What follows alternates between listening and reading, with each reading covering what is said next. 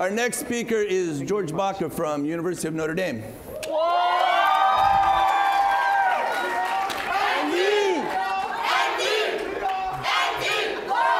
Irish!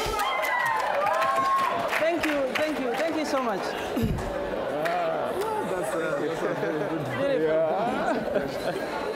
Ready on stage. If you are a young, proud African,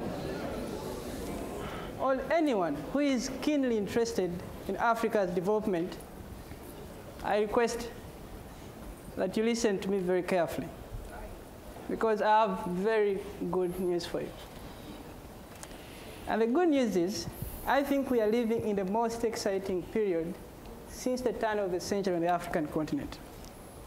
And the reason I say that is think about it. 50 years ago, the struggle of our forefathers who fought for independence was one of political freedom.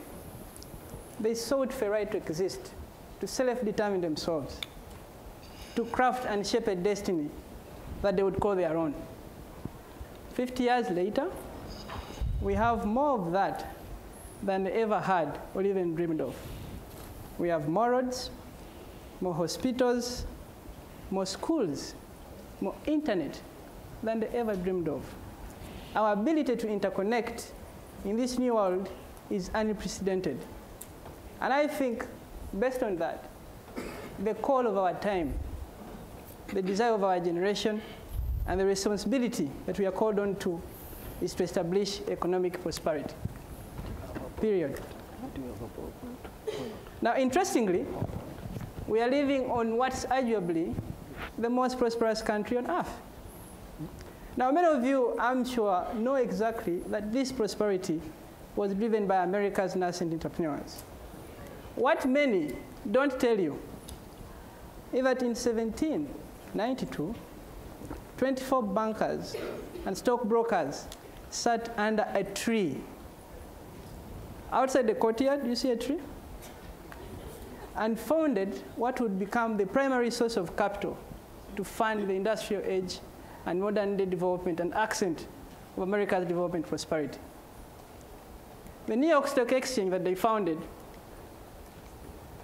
mostly was the primary source of capital that funded the industrial age. When you think about Ford, the automotive industry, steel, when you think about Carnegie, oil, when you think about Rockefeller, and up to this day, the infrastructure they set up fund the modern day controllers of the digital age, Google and Facebook. In fact, estimates estimate that its infrastructure in NYSE is probably about $19.7 trillion worth of market capitalization. On every single day, $169 billion worth of trade is traded on that exchange.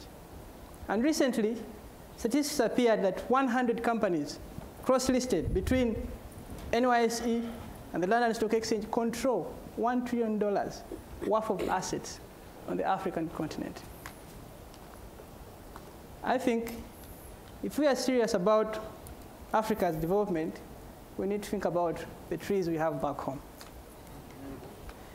Now, my opinion is that while America's development and accent was driven by its big vision and big entrepreneurs, which is relevant. And it, any serious entrepreneur who is serious about Africa's development should think that way. But you know, the truth is most of our entrepreneurs on the African continent are mid-level small-scale companies who are simply supplying small products, scholastic materials, education materials, and what have you. I believe that those are the kind of entrepreneurs that need the chance to become dominant players in our own economies. They are the kind like Alex, who is supplying computers to schools. Our traditional banking systems consider them completely, completely and completely also risky. My proposition is, if banks consider our entrepreneurial system, why don't we, who know the relevance they have, invest in it?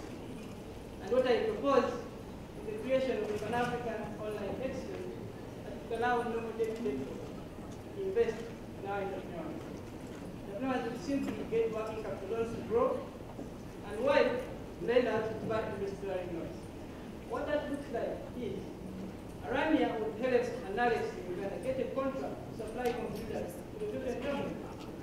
Belani and Timon, who is in Zimbabwe, would invest in that contract. Both benefit, and many of us get better after that. Now, Africa doesn't have inspiration